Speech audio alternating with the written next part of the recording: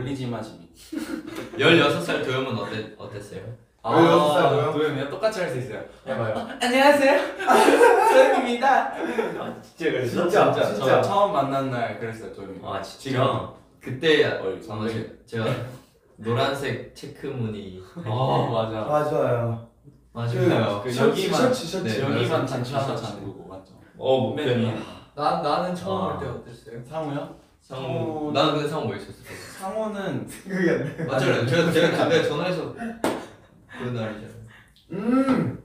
숙소 아 숙소에 잘생긴 친구 왔다고 아, 진짜 만나. 잘생긴 친구 같다고 만나 맞아? 맞아 진짜 그랬어요 근데 내가 너 1층에서 너, 너 마주친 날아 이런 거 말고 나도 패널을 패러디? 상우? 상우 상호 어머 되게 어머 문 앞에 서 있었다고 하잖아 그러니까 상- 다른 숙소 앞에 제가 그때 그랬어요 12월 달쯤에 몇 년도인지 모르겠는데 상호가 이제 월말 평가 준비를 하고 있었어요. 근데 저는 그때 이제 다른 활동을 하고 있을 때여서 음. 제가 놀러 와서 회사에 놀러 왔었거든요. 어.